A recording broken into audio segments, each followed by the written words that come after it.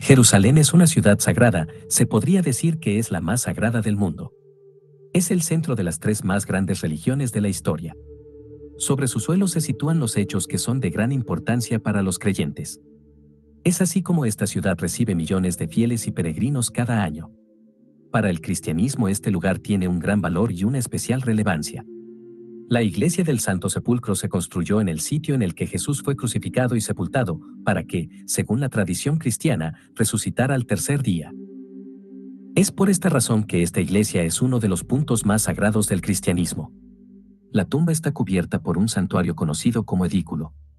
Hoy en día está bajo la custodia de diversas comunidades cristianas, entre ellas la Iglesia Católica, la Iglesia Apostólica Armenia y la Iglesia Ortodoxa.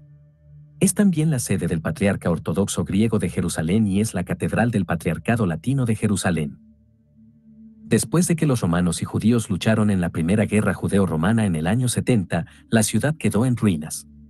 Así que en el año 130 el emperador romano Adriano comenzó la construcción de una nueva ciudad romana con el nombre de Aelia Capitolina y en el año 135 ordenó rellenar una tumba antigua que se encontraba en el lugar y de esta forma edificar un templo en honor a Júpiter. Ya en el año 312, el emperador romano Constantino tuvo la visión de la cruz en el cielo, acontecimiento que llevó a su conversión a la cristiandad, y por esta experiencia mística, firmó el Edicto de Milán, en el cual legalizaba la religión cristiana. Una de sus primeras metas era encontrar la tumba de Jesús, así que encomendó a su madre Elena a marchar a Jerusalén para llevar a cabo esta misión. Una vez en Jerusalén, Elena, con la ayuda del obispo de Cesarea Eusebio y el obispo de Jerusalén Macario, hallaron tres cruces cerca de una tumba, lo que los llevó a considerar que habían encontrado el Calvario. Así era denominado el lugar donde Jesús fue crucificado. Es entonces cuando Constantino ordenó que el templo que allí se erigía en honor a Júpiter fuera reemplazado por una iglesia.